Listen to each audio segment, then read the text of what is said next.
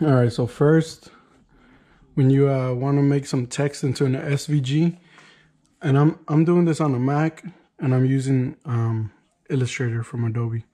So first, what you want to do is just open it up. Um, if you can get this template, um, if you have the shaper, when you get the the USB on the shaper, it comes with this template. So just open it, and it's gonna open up Illustrator and then just save this template all the time. That way you you can always just open it. Just save it on your computer and it opens. All right, so then you go to the text tool over here. Just look for the little text tool. Um, make this nice and big. So, um, holding down shift, you got to hold down shift and then you come to the corner and you pull it. That way everything stays uh, proportional. Um, let me change this font.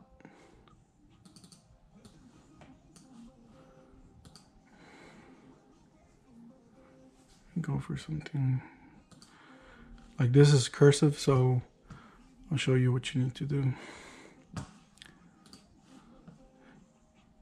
You click it one time. Let's say oh no let me change it so you can so it looks better. Uh, I'm gonna do my name. Capital.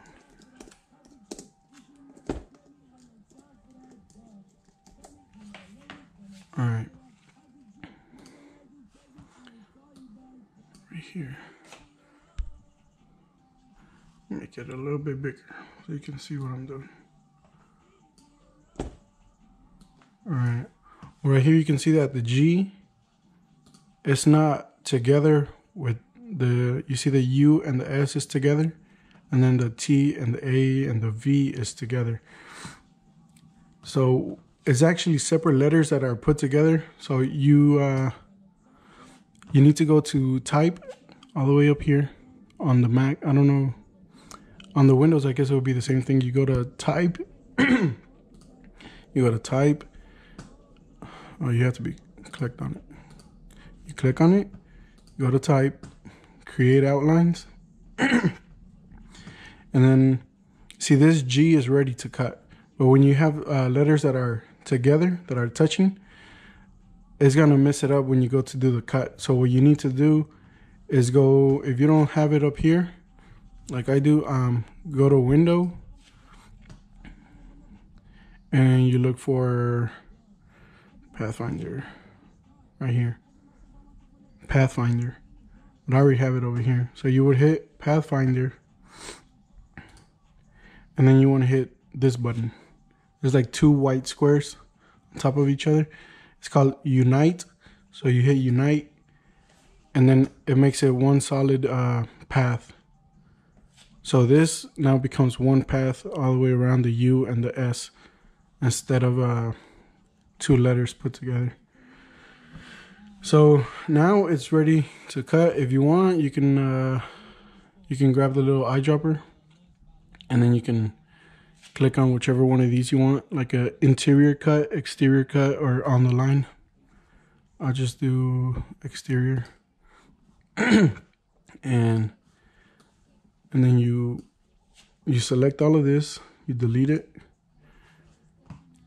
then you go to File. You go to Save As. Um, I'm just gonna click and say my name.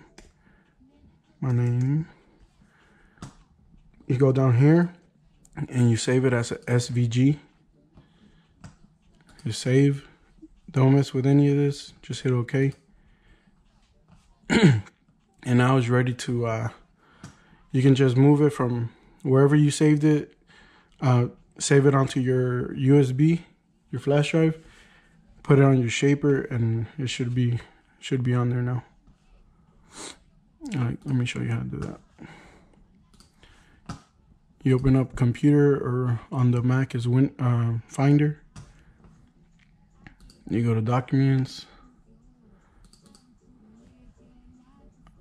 What do I call it? Name. It's up here go to name, you hold it, uh, control, and then you click it, and then gives you the options and you click uh, copy copy that file copy name. Then you go uh, I don't have mine. Then you would go to wherever you have your uh, your USB let me do that real quick.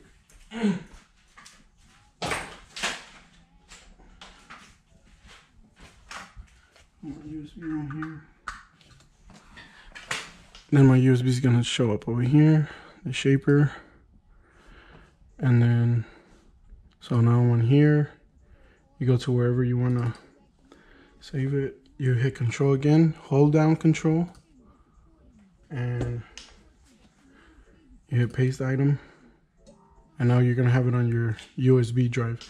And then all you have to do now is uh, connect your USB drive to the to the origin and you're ready to cut it so that's how you do text. Convert a text to SVG